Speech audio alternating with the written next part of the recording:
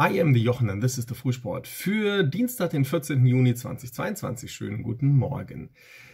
WM-Qualifikation aktuell. Australien hat es geschafft. Ich weiß nicht, ob ihr es gesehen habt. Es war richtig spannend. Am Schluss ging es Elfmeterschießen gegen Peru und das haben die Australier dann gewonnen in der Verlängerung des Elfmeterschießens. Nach fünf stand es immer noch unentschieden.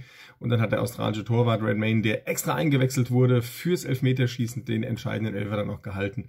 Das war schon äh, ganz schön spannend, muss ich sagen. Und live auf FIFA Plus, wo es nichts kostet, wo man schön streamen kann. Und da kann man, wer es verpasst hat, heute gleich weitermachen, denn wir haben ja immer noch ein Ticket offen für die WM. Aber erst sollte ich kurz noch erwähnen, dass die Australier damit jetzt in der Gruppe D mitspielen, treffen dort auf Frankreich, Dänemark und Tunesien bei der WM. Peru also leider draußen. Dann haben wir noch eine Entscheidung zu treffen, nämlich der letzte deutsche Gruppengegner wird noch ermittelt heute Abend. Wir wissen schon Spanien, wir wissen schon Japan und dazu kommt aber eben noch eine vierte Mannschaft, die die Gruppe dann voll macht und das wird heute ab 20 Uhr sein, entweder Costa Rica oder Neuseeland. Die spielen gegeneinander, wieder in Katar. Und FIFA Plus überträgt wieder live ab 20 Uhr. Und auch hier geht's notfalls bis ins Elfmeterschießen. Das äh, werden wir dann herausfinden, wer es also dann letzten Endes sein wird. FIFA Plus, habe ich schon gesagt, geht auf FIFA.com und dann gibt's oben so ein Banner mit äh, Link zu FIFA Plus. Und kostet nichts, braucht man nicht anmelden, gar nichts, einfach nur auf Play klicken und dann geht das los. Ich fand's heute sehr unterhaltsam. Nations League gibt's aber auch noch und zwar zum letzten Mal vor der langen Pause bis Herbst dann. Der vierte Spieltag wird abgeschlossen mit einem einem Füllhorn an Spielen. Ähm, keine Goalzone natürlich, das wäre zu schön gewesen. Um 18 Uhr geht's los mit Armenien, Schottland und Moldawien, Andorra. Und dann um 20.45 feuern sie nochmal richtig raus. Zum einen im ZDF Deutschland gegen Italien mit dem nächsten 1 zu 1 Fragezeichen, mal schauen. Und dazu unter anderem dann auf der Zone England, Ungarn, Niederlande, Wales, Polen gegen Belgien. Wir haben äh, Ukraine gegen Irland beispielsweise. Türkei spielt gegen Litauen. Und natürlich wieder ein Gigantenduell dabei Liechtenstein gegen Lettland aus der Liga D. Das alles heute Abend auf der Zone. Wenn ihr Bock habt, schaut rein. Die Nations League ist da zum letzten Mal nach 14 Tagen. Also heute der letzte Spiel. Ich habe mir dermaßen heute alles verbrannt. Man sieht es auch richtig hier. Das ist alles knüllerot hier. Ähm, wir hatten Sportfest und äh, also das heißt, ich habe ähm, dienstlich Leuten zugeguckt beim Leichtathletik machen und wurde dafür bezahlt geht's besser? Ich finde nicht. Normalerweise bezahle ich Eintrittskarten, damit ich Leute bei der Leichtathletik sehen darf. Und hier war es quasi umsonst und Job. Schöne Sache. Aber den Sonnenbrand habe ich damit leider dann auch, liebe Zeit, mitgekauft. Da habe ich noch Rasen gemäht, dann fröhlich weiter in der Sonne, da war es dann auch egal. Aber naja. Muss ich durch, ich schweife ab. Wir gucken zum Beachvolleyball. Apropos Sonne und Strand und Sonne. Wir gucken zum Beachvolleyball. Da haben wir die frohe Kunde, dass aus deutscher Sicht alle fünf Teams die nächste Runde erreicht haben. Genau, und zwar Laborer Schulz als Gruppendritte, die sind aber als einer von den vier besten Gruppendritten bei den Damen weitergekommen. Ansonsten Borger Sude gewinnen ihre Gruppe, Ittlinger Schneider sind am Schluss Zweiter in ihrer Gruppe, Müller-Tillmann gewinnen die Gruppe und bei den Herren Ehlers Wickler auch als Gruppenzweiter weiter. Damit also alle fünf deutschen Teams in der K.O.-Runde damit lässt sich doch arbeiten. Wenn ich es richtig im, da habe ich jetzt gar nicht geguckt, die K.O.-Runde, geht die direkt schon weiter?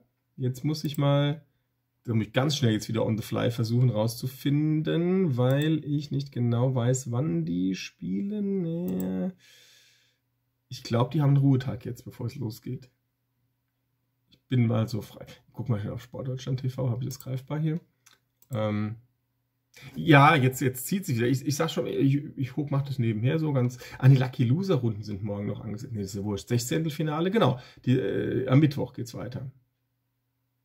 Richtig. Genau, morgen werden Lucky Loser äh, Spiele, aber richtig rund geht's dann. Das ist aus deutscher Sicht interessant. Das heißt, die Gruppen Dritten, die nicht zu den jeweils vier Besten gehören, die müssen nochmal ran in diesem Lucky Loser Wettbewerb. Das findet heute statt, aber ähm, die richtige K.O.-Runde startet dann einen Tag später, also Mittwoch. Deswegen alles gut, was ich gesagt habe, vergesst es einfach und ähm, ich mache mal weiter, würde ich sagen, mit Tennis. Da geht es weiter heute mit den Turnieren, die gerade laufen und zwar in Halle die Herren. Das gibt es live auf Eurosport 1 ab 11 Uhr, unter anderem heute mit Altmaier und Oskar Otte, der neuen Geheimwaffe auf Rasen. Ich spiele gegen Kechmanovic, Altmaier gegen Kyrgios. Dann haben wir Damenturnier ab 11 Uhr in Berlin mit Niemeyer gegen Bencic und Petkovic gegen Muguruza. Und dann habe ich noch im An und, und natürlich auch noch ein paar Heroen früherer Tage im Doppel in Halle.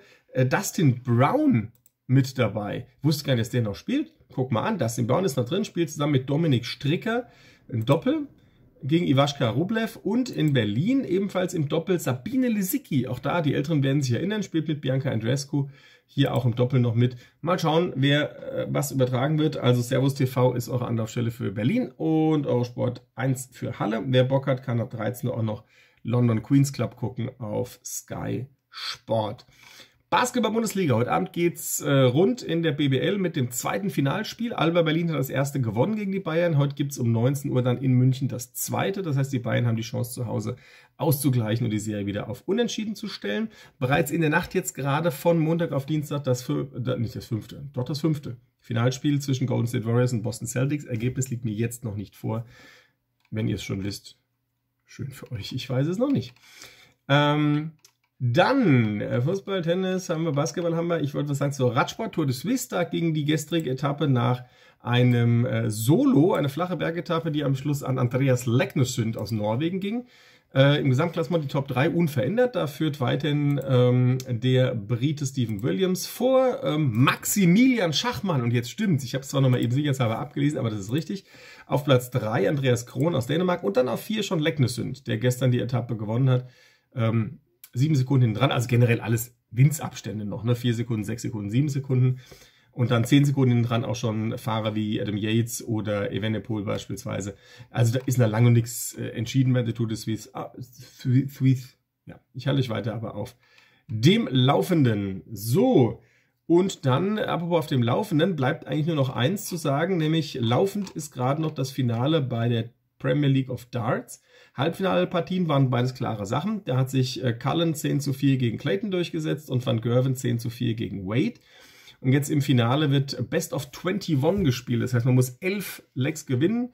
Und momentan steht es gerade 7 zu 6 für Cullen gegen, jetzt gerade Ausgleich, 7 zu 7 zwischen Cullen und Van Gerven. Da gucke ich nochmal kurz rein, aber das wird noch ein paar Tage dauern.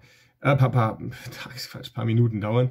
Ähm, wenn ich es dann äh, vielleicht schon rausfinde, schreibe ich es hier noch in den, in den Titel, ins Titelbild rein. Ansonsten erzähle ich es euch morgen. Jo, morgen schauen wir dann noch wieder auf die Nations League. Vier Spieler werden dann rum sein und dann können wir mal eine Zwischen- Revue ziehen. Sagt mir Revue, Revue passieren lassen. Eine Zwischenbilanz ziehen und mal gucken, wie es nach vier von sechs Spieltagen aussieht. Dann haben wir tatsächlich schon belastbare Ergebnisse. Frankreich hat wieder verloren. Hui, da läuft es auch nicht so richtig rund gerade. Danke fürs Zugucken heute. Ich mache mir noch ein bisschen After Sun jetzt drauf und dann hoffe ich mal, dass ich morgen nicht so eine Tomate bin wie heute. Wir schauen mal, was draus wird. Habt einen schönen Tag und danke fürs Zuschauen. Tschüss.